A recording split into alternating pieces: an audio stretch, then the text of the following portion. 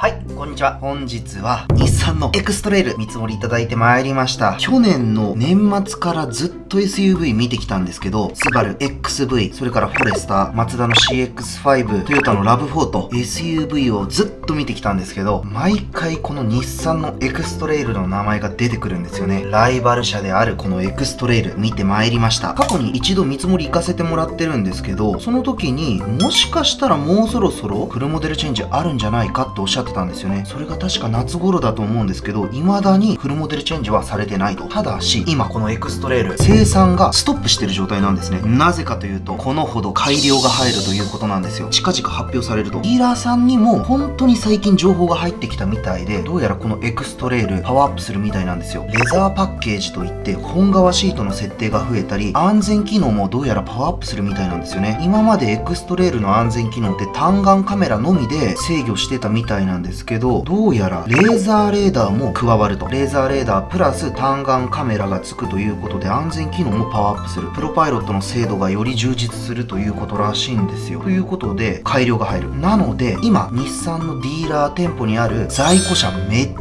ちゃくちゃ値引き多くなってます。でそれはシャープ2以降に発表させていただければと思います。どうやら今回も話が長くなりそうなんですよ。ということでやらせていただければと思います。今回もまあいつものようにノートにまとめさせていただきました。何気なく車を走らせてたわけです。ブーンと。そしたらはっと気づいたんですよね。あらあらあらと。日産の店舗あるぞと。あ日産やそういえば最近日産車全然見てないなと。僕の動画配信日産車がなかなか見れてないんですよね。少なくて。あそうや。と。先ほど申し上げたスバル XV やフォレスタマツダで CX5 トヨタで RAV4と。これらの SUV を見に行った時もエクストレールの名前出てきたなと。ちょうどいい機会だからエクストレールの見積もり取ってみようかなと寄らせていただいた次第でございます。お店に入りましてわーいと。エクストレールの見積もりくださいなと営業さんむむはいはいはいはいと。どうぞどうぞと。SUV でお考えですかと。実は今までにスバルそれからマツダトヨタどこのディーラーさんに行っても日産のエクストレールの話が出てきたんですよ。これは見なきゃいかんなと思ってきましたと。エクストレールについてどんな車か教えてくださいと。営業さんもほーっと分かりましたと。ということでまずカタログをいただきました。わーいと。そして最初に気づいたことなんですけどあエクストレール3列シートあんの？と。123と。3列シートあるんですね。エクストレール知りませんでした。僕が今まで見に行ったスバルの XV フォレスターマツダの CX5 もトヨタの RAV4も3列目のシートの設定ないんですけどなんとこのエクストレールに至ってはこの通り3列目の設定があるんですよ。なので最大で1234567人座れるんですね。知りませんでした。乗車人数にすごい融通の利く車なんですよエクストレール。実車も見れればよかったんですけどなかったんですよね。なのでおそらく3列目のシートはとっても狭いんじゃないかなとは思うんですけどでもいざとなった時に乗れるっていうことですからね。これはすごい便利だなと思いました。ははエクストレールにはグレードによって5人乗りと7人乗りの設定があるんですよと。高須さんが今まで見られてきた XV やフォレスタ CX5 RAV4には7人乗りの設定ないですよねと。エクストレールにはそれがあるんですよと。この3列目のシート普段は畳んでおけば荷室としても使えますしとっても便利な設定なんです。教えてもらいました。へえ。他のライバル車にはない利点ですねと。あれ？なんじゃこの価格設定は？びっくらこきました。エクストレールの価格設定すっごいリーズナブルなんですよ。価格表を見ていただきたいと思います。こちら。じゃがじゃーんと。上がガソリン車下がハイブリッド車なんですけど 2WD の2列シートの一番下のグレード 20S グレードはガーッと見ていくとなんと車体価格が227万円なんですよ。えこんな安いんだっけ？とびっくりしました。でハイブリッド車も見てみますね。2WD の一番安いグレードであればなんとハイブリッド車ですよ。車両価格267万円からなんですよ。エクストレールこんな安かったっけ？と。他メーカーと比べても一回りくらい車体価格安く抑えてあるんじゃないかと思うぐらいリーズナブルな設定になってます。エクストレールはハイブリッド車が267万円からなの？この価格は一体？ははは。そうなんですよと。日産のエクストレールは価格設定をギリギリまでリーズナブルに抑えてあるんです。特にガソリン車とハイブリッド車の価格差は他メーカーと比べて特に抑えられていると思ってますと。知りませんでした。こんなに安かったっけと。僕の中では RAV4を見に行った時の価格設定がすごい印象に残ってるんですけど営業さんがハハイブリッド車を選ぶと500万円くらいの車になっちゃうと言ってたのがすごい印象に残ってるんですよね。それと比べたらエクストレールものすごい安いなと。ちなみにエクストレールの走行性能についてお聞きしたいんですけども、むむむ、実はスバルやトヨタで車を見に行った時にエクストレールの走行性能は他社の SUV と比べると落ちる。そんな風にお話しされていたんですけど、実際のところエクストレールの走行性能どうなんでしょうかとお聞きしました。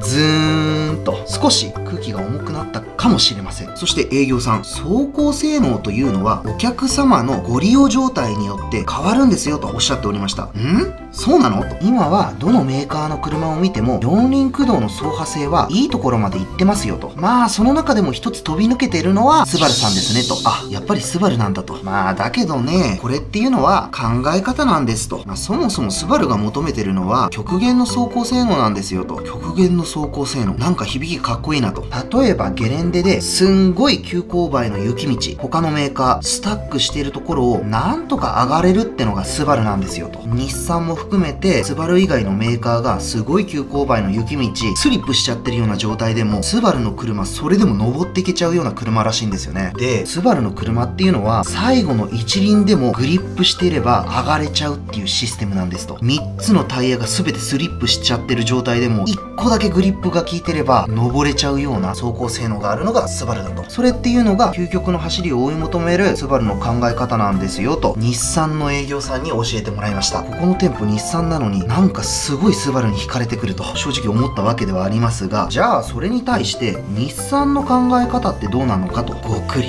実は四輪駆動のパワー配分を電子制御した最初の車っていうのは日産車なんですよと。なので日産の四輪駆動実績も申し分なくてほとんどの道を走破できるような能力は十分あるんですと。日産の四輪駆動について少しお話しさせてくださいと。今世に出てる車は日産だけに限らずにパワー配分というものを電子制御してるそうなんですよ。例えば日産の4駆だと大きく3つの走行モードがあるようなんですね。まず1つ目、2WD モード。前輪が100%の駆動配分。で、後輪は0%と。まあ要するに 2WD のモードですね。それからオートモード。前輪の駆動配分を100%から50%に自動で制御する。後輪もその分0%から50%まで制御してくれるオートモードという走行モードがあると。それからロックモードといって常に前輪と後輪の駆動動配分を50%ずつに保つ3つの走行モードがあるみたいなんですけどその中でも日産が特に得意としているのがオートモードなんですと。走行している路面の状態を自動で読み取ってその路面状況に応じて前輪と後輪の駆動配分を全て自動で制御してくれるっていうこのオートモードが特に日産が長けてる走行モードらしいんですよ。日産の考え方っていうのはこの四輪駆動を利用してより安全により快適に運転できないかってってことなんですと。で、先ほど説明いただいたオートモードとはどんな関係があるのかなと思ったんですけど、先に話が進みまして、実際この日本の何パーセントの人が悪路だとか、道なき道走ってると思われますかと、ほんの一握りなんですとおっしゃってましたね。なので、日産の SUV エクストレール、走破性ももちろんあるんですけど、そこを少し需要のある方へシフトしたということなんですと。需要の少ない道なき道を走るような走行性能じゃなく、オンロードにシシフトした車なんですよっていうことが言いたかったんだと思うんですよ。で、まあ、先ほども申し上げた通り、日産は自動制御に長けたメーカーなんですと。日産のエクストレールの4駆の特別な機能を教えてもらいました。インテリジェントライドコントロール。エンジンの駆動力、まあ、要するに出力とブレーキの自動制御によって振動を超低減するような機能がついてるらしいんですよ。どういうこっちゃねんと。車は急加速すると頭が持ち上がるようなんですよね。逆にブレーキをするとどうなるかというと頭が下がるらしいんですね。加速した時に持ち上がる。減速した時に下がる。この特性を利用して路面の状態を常に読み取り、その路面に合わせて細かく出力とブレーキを繰り返して振動を抑えるんですと。日産のエクストレールはこのようにガッタ型の道、路面状況を常に車が読み取って、凸凹に合わせて加速や減速を繰り返して頭を上げたり下げたりすることで振動を抑えるっていうことなんですよ。まあ、要するに、ロードノイズキャンセリングみたいな機能が備わってるんですよ。インテリジェントライドコントロールです。す、すごい。一般般道でも常に路面を読み取って快適に制御してくれるなんてと驚きました。はははは、それだけじゃないですよと。他にも機能あります。インテリジェントトレースコントロール。このような急カーブを曲がるときに日産のエクストレールは外側のタイヤにアクセルを、内側のタイヤにブレーキをかけて安定性に優れた超コーナリングが可能ということなんですね。ドヒャーえらいこっちゃと。他のメーカーの車だと急カーブするときは遠心力があるので外に振られちゃうと思うんですね。日産のエクストレールは違うんですよ。先ほど申し上げたインテリジェントトレースコントロールによって外側のタイヤアクセル、内側のタイヤはブレーキをかけるんですよ。なので遠心力で外に曲がっていってしまうところを自動制御でしっかりと内側にコーナリングしてくれるんですよね。普通だったら外に飛び出ちゃうところをエクストレールならスムーズに安定したコーナリングが可能なんですよと教えてもらいました。これがエクストレールの4駆の考え方なんですと。もちろん、スバルのように走破性のトップを目指すのもいいんですけども、そこばかりを目指すんじゃなくて、そこを目指すまでの工程で、いかに車を安心に快適にできるかなんですよと。実際の実用性に関しては、エクストレールの右に出る車はないということですねとお聞きしました。つまり、オンロードを走るのであれば、エクストレールの右に出るような SUV はないと。営業さん、その通りでございますと。まあ何しろ日本は舗装された道路しかないですもんねとお聞きしました。おっしゃる通りでございますと。特に他メーカーとの違いを感じるのが高速道路ですね。我々は研修で乗り比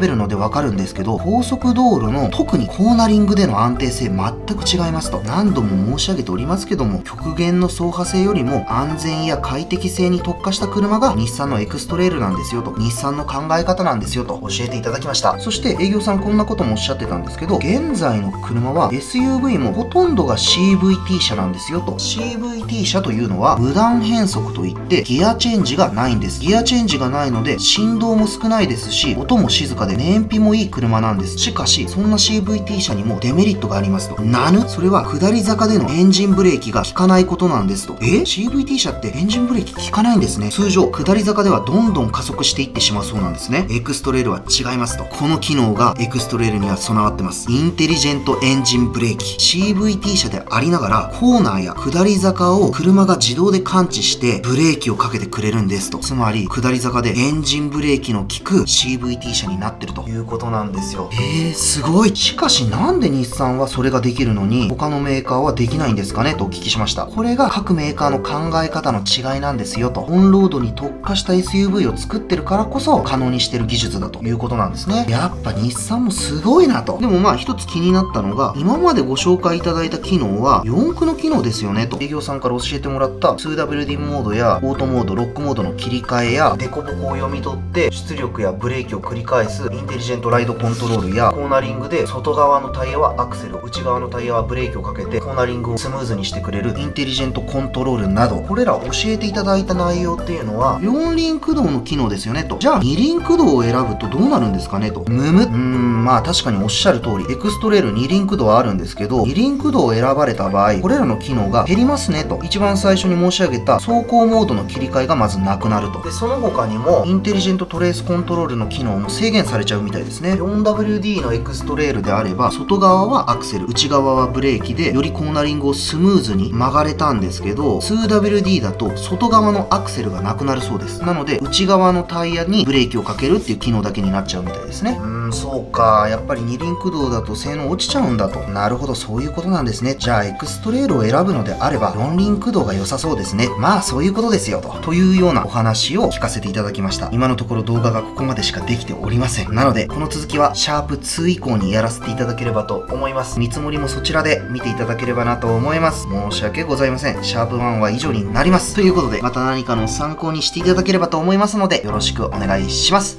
では、